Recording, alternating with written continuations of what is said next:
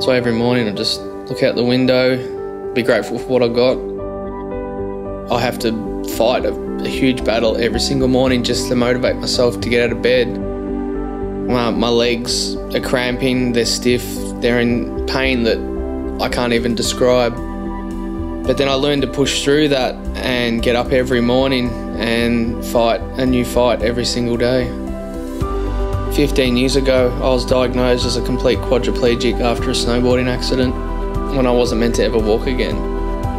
Going a Goodlife motivates me to get out of the house every single day, but it also helps me maintain everything that I've fought so hard to have. Being able to travel around the world, I feel so grateful to be able to share my story.